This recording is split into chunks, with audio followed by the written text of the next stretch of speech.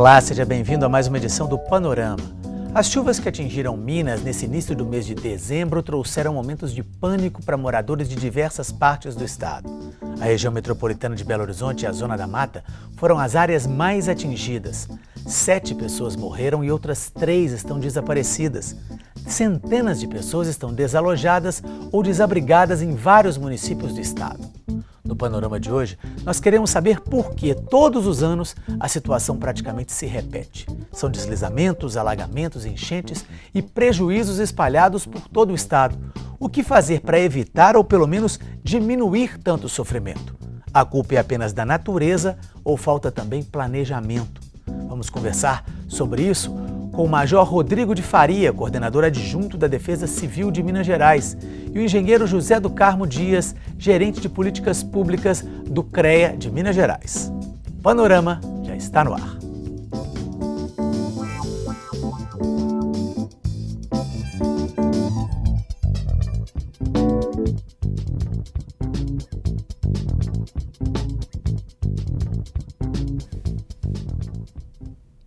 José do Carmo, muito prazer pela presença, muito obrigado. Major Faria, muito obrigado também.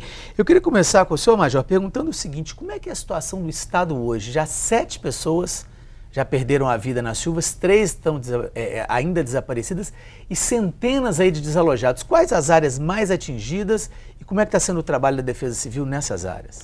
Fernando, doutor Zé do Carmo e a todos aqueles que nos acompanham, os nossos cumprimentos.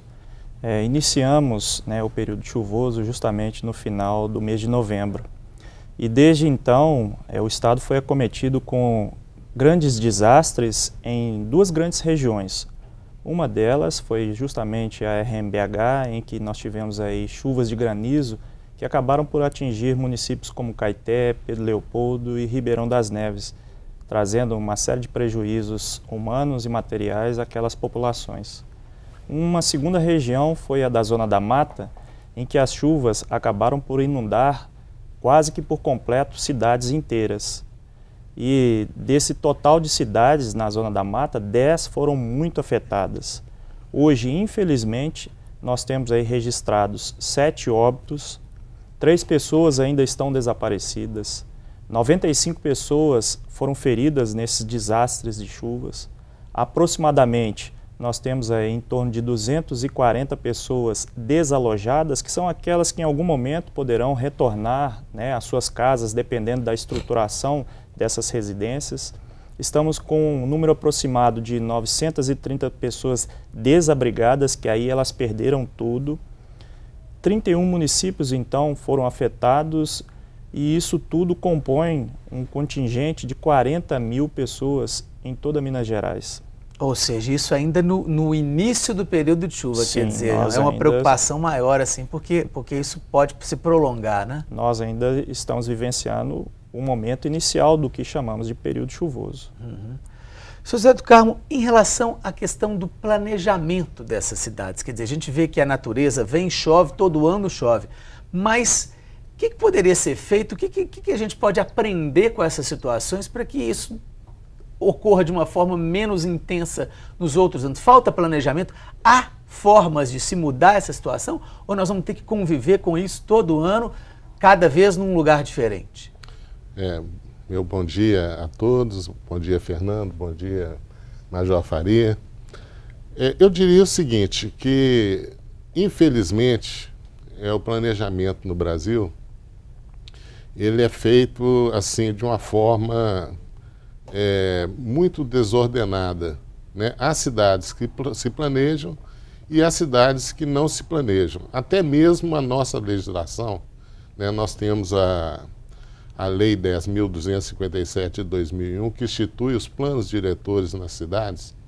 Né? E o plano diretor é que vai dizer onde se pode construir, quais as áreas que devem ter tais e tais tipos de equipamentos públicos, né? não só equipamentos públicos, mas indústrias. Né? É um planejamento que faz com que a cidade cresça com qualidade.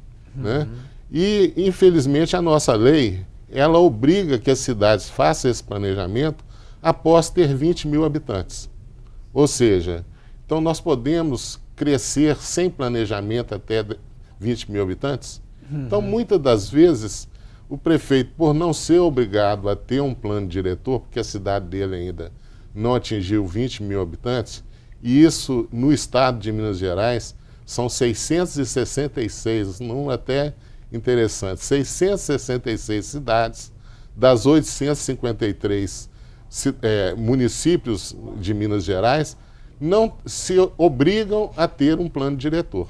Uhum. A falta desse plano diretor, então, talvez seria o grande responsável aí por construções em áreas que não deveriam ter e, e, coisas que podem agravar a situação. Exatamente. Que, a, além do plano diretor, você tem a lei de uso e ocupação do solo. Uhum. Né? E uma coisa é casada com a outra. Então, se você não tem um plano diretor é, é, estudado, feito com, com a engenharia, como deveria ser feito, instituindo as áreas de possíveis inundações, instituindo as áreas de risco de deslizamento, né? É, áreas com encostas, com, por exemplo, com mais de 30 graus, pela própria lei do loteamento, não se pode construir é, em inclinações superiores a essa. Uhum. Então, como as pessoas querem ficar mais aglomeradas em centros urbanos, o que, que ocorre? Você vai fazendo uma cidade sem um planejamento adequado, né? E além disso ainda não, ainda não é votado nas câmaras municipais os planos de metas, uhum. que é uma outra lei importante instituída pela ONU para que as cidades cresçam sustentáveis, né? que no plano de meta um prefeito ele tem que seguir o que está no planejamento a longo prazo, a 30 anos. Uhum. Né? E caso a cidade não tenha um plano de metas, o que, que ocorre? Cada prefeito que entra, ele entra Faço com o seu projeto.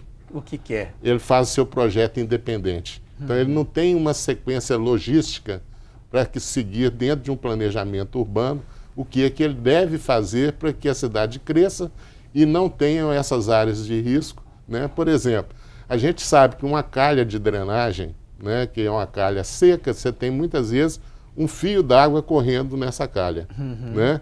Mas a área é uma área imensa, são vários hectares é, de, ou quilômetros quadrados né, que chegam nessa calha.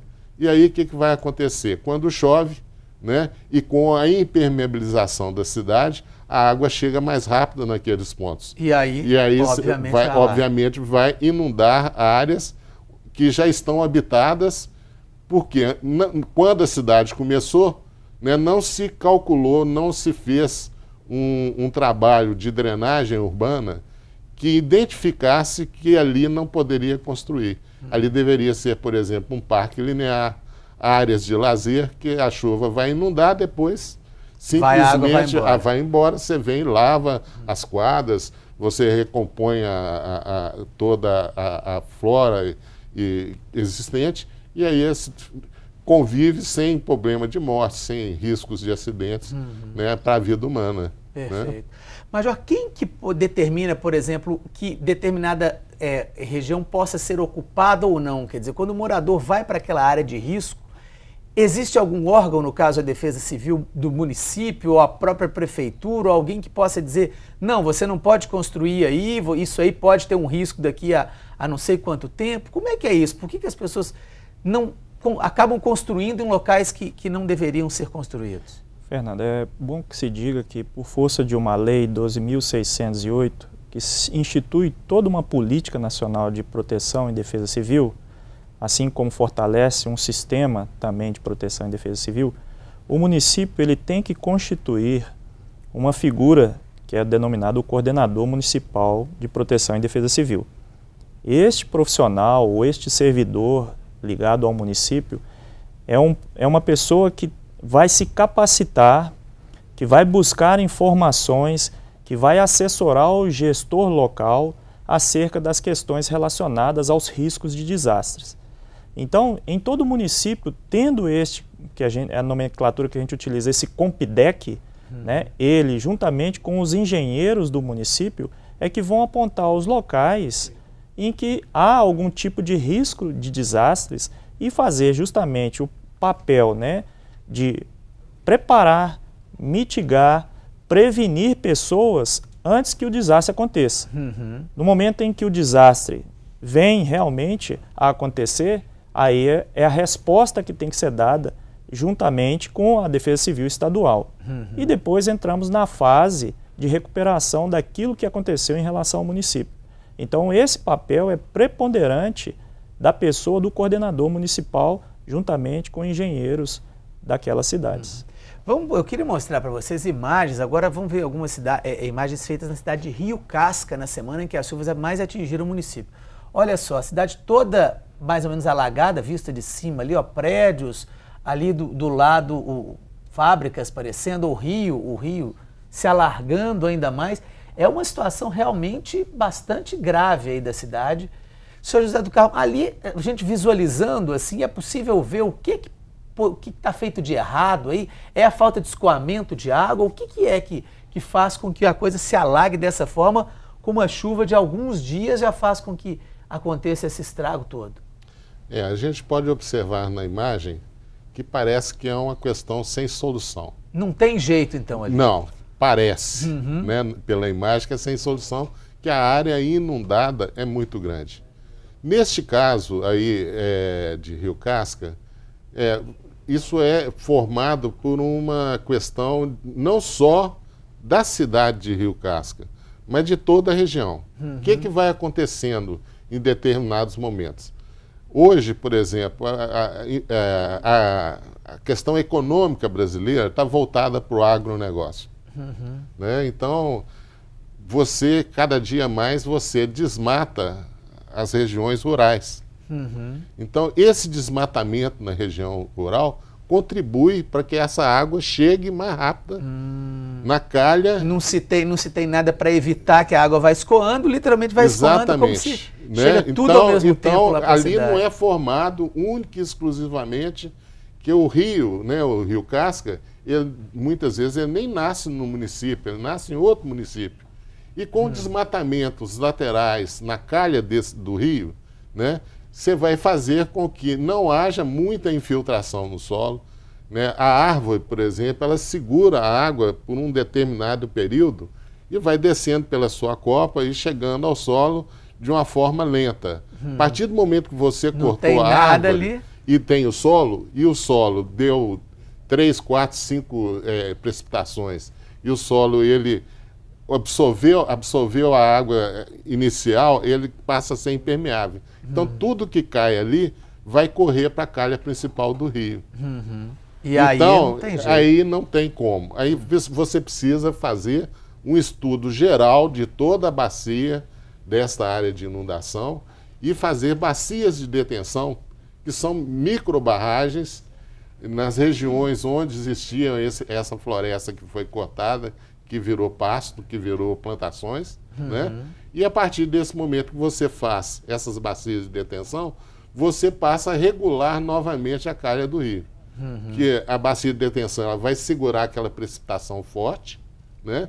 E nós vamos deixar um orifício que ela vai soltar um volume controlado. Uhum. Com isso, vai chegar na cidade um menor volume de água, esse, esses volumes retidos ao longo da bacia, né, eles vão soltando de uma forma mais lenta, com isso resolveria o problema. Então, hum. são obras que vão ter que fazer pelo fato de um descuido de não ter se feito um, um, uma, um planejamento sustentável da área rural, uhum. né? porque hoje a gente tem que ter o plano diretor não só da cidade, nós temos que ter o plano, plano diretor da área rural também. Uhum. Exatamente porque na área rural está interferindo com o que acontece, que acontece na, cidade. na, cidade. Perfeito. Eu queria só fazer um pequeno intervalinho, mas aqui a gente vai, daqui a pouco vai falar também, continuar falando sobre o impacto das chuvas no estado de Minas Gerais. Nós voltamos daqui a pouco.